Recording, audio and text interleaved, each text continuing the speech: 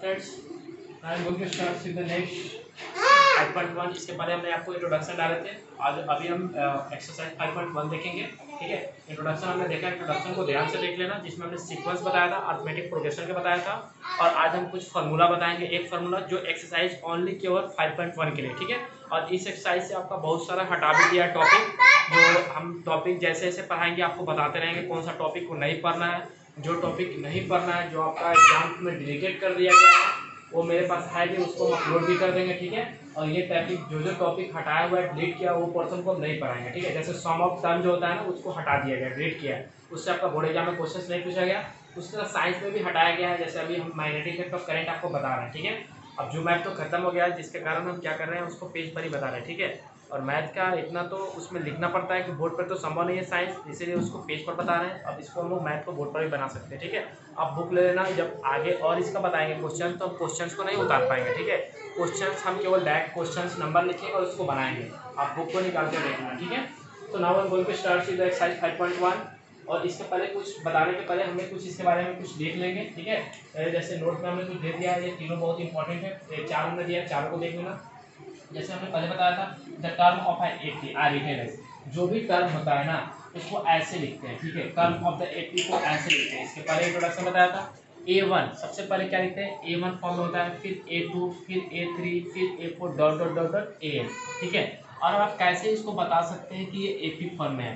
तो सबसे पहले मेरा काम क्या है कि बाद वाले में से पहले वाले को घटाते हैं, ठीक है? जैसे हमको चेक करना होगा। जैसे मान लीजिए A two minus A one ठीक है? अगर कुछ भी आ रहा है, मान लीजिए वाट आ रहा है, ठीक, उसी तरह से बाद वाले में से पहले वाला है। A three minus A two इसका भी कुछ वैल्यू आएगा, ठीक है? उसी तरह मान लीजिए, अब हमने नहीं दिया, अगर दोनों ये सेम आएगा, मान लीजिए सुपर डेट सुपर डेट मान लीजिए कि हमने यहाँ घटा रहे तो यहाँ पे टू आ रहा है और यहाँ पे टू आ रहा है। सुपर डेट मान लीजिए, ठीक है? ये ऐसे दोनों में टू मान लीजिए कि दोनों में टू आ रहा है। टू तो दोनों में कॉमन है तो ये क्या होगा? ए पी कहलाएगा। क्यों? क्योंकि दोनों के बीच में कॉमन डिफरेंस क्या है? सेम है। वही कॉमन डिफरेंस को हम किससे बोलते हैं? डी से इंडिकेट करते हैं, ठीक है? तो कभी भी बाद वाले में से पहले वाले को। ये ए वन का मतलब क्या होता है? इसको ऐसे भी हम लिख सकते हैं। इसको फ़र्स्ट टर्म ए भी केवल लिख सकते हैं। ए वन को केवल ए भी लिख सकते हैं। ए मतलब फ़र्स्ट टर्म हुआ, ठीक है? ए टू का मतलब क्या हो गया बताइए? इसको बोलते हैं हम लोग सेकेंड टर्म क्या बोलते हैं? सेकेंड टर्म बोलते हैं, ठीक है? इसको ए थ्री का मतलब क्या बोलते हैं? तो इसको बोलते हैं हम लोग थर्ड टर्म क्या बोलते हैं? थर्ड टर्म ठीक है? कभी कभी बोलता है ना कि फोर्थ टर्म निकालो।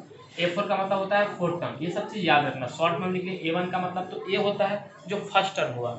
ए टू का मतलब सेकेंड टर्म हुआ। ए थ्री का मतलब थर्ड टर्म ए फोर का मतलब फ़र्स्ट टर्म और ए एन का मतलब एन टर्म ठीक है? ए एन का मतलब क्या होता है? एन टर्म वही हमने पढ़ा दिया है कि कभी भी एक टर्म के रूप में रहते हैं ए पी और दूसरे first term A P A one generally writes A जो फ़र्स्ट टर्म जो ए वन होता है ना, उसको जेनरली हमने ए लिखा है, उसको ए भी हम लिख सकते हैं। उसको क्या बोल सकते हैं? ए भी जिसको ए का मतलब ही होता है फ़र्स्ट टर्म ठीक है? जो शुरू में दिया हो। The N term of N F is A N term जो होता है, उसको हम कैसे लिखते हैं? ए ए और नीचे में एन ऐसे लिखते रहती है। ए ठीक है? और ऐसे एन ठीक है? ये हो गया एन टर्म जिसको बोलते हैं एन टर्म ठीक है?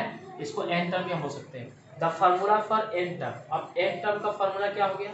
तो एन टर्म का फार्मूला यही ना हो गया लास्ट में। इसी को ना एन टर्म बोलते हैं। तो N equal to A plus N minus one into D अब एन का मतलब क्या होता है? एन का मतलब आप कौन सा टर्म हो गया? कितने टर्म है? जैसे मान लीजिए हम सेकंड टर्म निकाल रहे हैं तो यहाँ टू हो जाएगा। थर्ड टर्म बोल रहा है तो यहाँ टू हो जाएगा, क्योंकि टर्म बोलता है। फोर्थ टर्म बोल रहा है तो यहाँ क्या हो जाएगा? फोर हो जाएगा, ठीक है? ये टर्म के अनुसार, ठीक है? अब हम इसके बाद क्वेश्चन पे आते हैं। Right four right first fourth term of the AP हमने सबसे पहले एपी का फ़र्स्ट फोर्थ टर्म निकालेंगे वेन द फ़र्स्ट टर्म तो इस क्वेश्चन से आपका एक्सरसाइज फाइव पॉइंट वन का क्वेश्चन में दिया हुआ है। वन क्वेश्चन आसान है, आप खुद से भी बना सकते हैं, ठीक? सेकंड क्वेश्चन बता रहे हैं right first fourth term of the AP when the first term first term इसका ए और कॉमन डिफरेंस को हमने बताया था आपसे पहले इंट्रोडक्शन में कि डी बोलते हैं। मतलब इट मीन दैट ए और डी इसमें क्या है? गिवन आपका दिया हुआ है। सबसे पहले हमने इसको बनाते हैं, ठीक है? सबसे पहले हम वन को बनाते हैं, ठीक है? तो वन में आपका क्या दिया हुआ है? तो ए इक्वल टू टेन दिया हुआ है आपका और डी इक्वल टू कितना दिया हुआ है? टेन दिया हुआ है, ठीक है? कितना टर्म आपको लिखना है? फ़र्स्ट फोर्थ टर्म तो फ़र्स्ट टर्म को क्या बोलते हैं हम लोग? ए बोलते हैं, ठीक है? तो ये बताइए फ़र्स्ट टर्म तो आपका दिया हुआ है तो मान लीजिए ए वन ए वन को ही ना ए बोलते हैं। ए वन को ही हम क्या बोलते हैं? वहाँ बोले हैं कि ए वन को ही हम क्या बोलते हैं? ए बोलते हैं, ठीक है? तो फ़र्स्ट टर्म आपका कितना दे दिया हुआ है?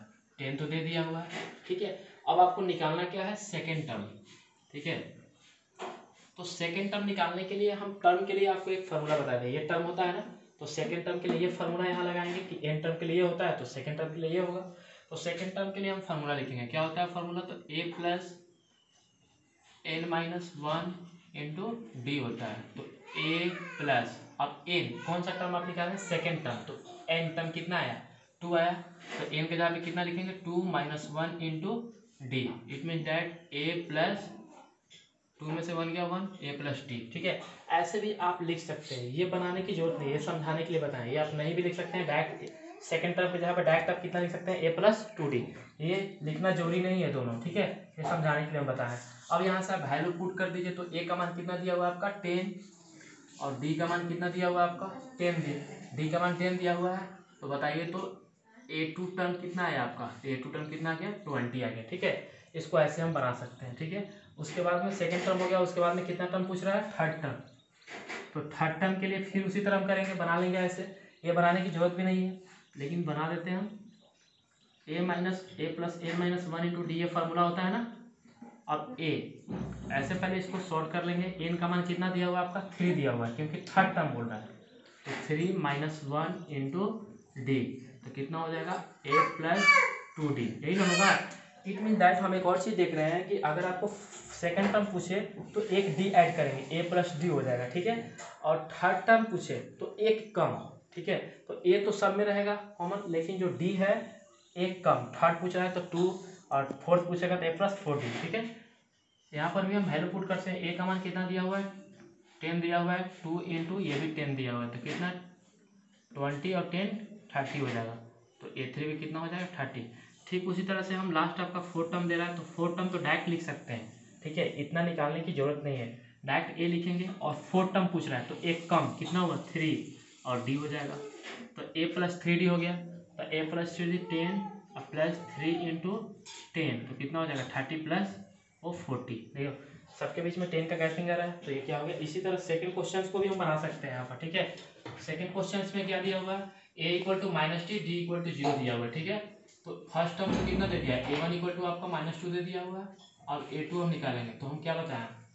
ए टू को बार बार ये करना ज़रूरी नहीं है। डायरेक्ट ये भी लिख सकते हैं। तो ए प्लस टू है तो एक डी तो वन तो छिपा हुआ है यहाँ पर। तो ए का मान कितना दिया हुआ है? तो minus two plus zero equal to कितना होता है? माइनस टू उसी तरह ठीक ए थ्री हम निकाल लेंगे। तो ए थ्री तो ए तो सब में कॉमन रहेगा। और थ्री है तो कितना डी टू डी तो ए का मान कितना होगा? Minus two plus two into zero. तो माइनस टू प्लस ज़ीरो बराबर कितना हो जाएगा? माइनस टू हो जाएगा, ठीक है? उसी तरह आप निकाल लेना, ठीक है? ये कोई आसान है, ठीक है? इसका नेक्स्ट पार्ट में हम पूरा इसका कंप्लीट डाल दें